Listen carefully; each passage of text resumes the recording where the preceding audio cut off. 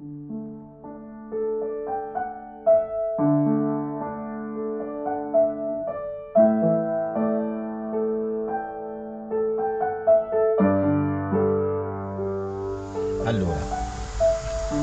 il Cristo al centro che dà il pane, i discepoli che lo accolgono, eh, c'è un discepolo qui che lo accoglie come se fosse già l'Eucarestia e dovunque uno guarda c'è sempre uno sguardo che richiama il Cristo.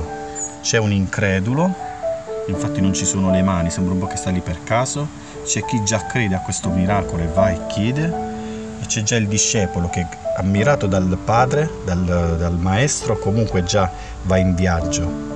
Poi ci sono le sacche, le, le ceste piene, abbondanti della grazia di Dio e secondo me non solo nello spazio ma anche temporalmente sembra un po' proprio traboccanti.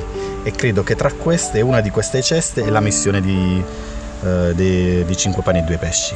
E Cristo dà il pane, però è come se desse già l'Eucarestia, infatti eh, un discepolo l'accoglie proprio, non la può toccare direttamente, l'accoglie come, l'accoglie come se fosse il corpo di Cristo.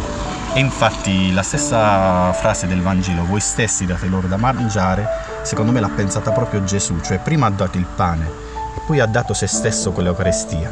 E quindi credo che sia anche la missione di Francesco e Alessandra, voi stessi date loro da mangiare.